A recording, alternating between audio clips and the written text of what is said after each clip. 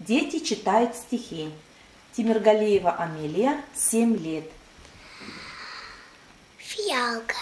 Товарищи скинули каски, Увидев, как нежно светла Фиалка, Анютины глазки На гребне окоп зашла.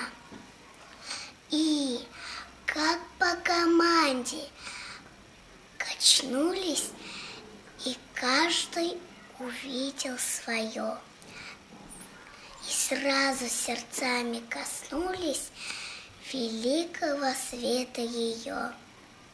Да что мы, в лесу или в поле? Да нет же, в окопе как раз. Анютины глазки, да поле, давно мы не видели вас. Вот так на окопе когда-то Анютины глазки цвели, И не было краше солдатам клочка этой бурой земли.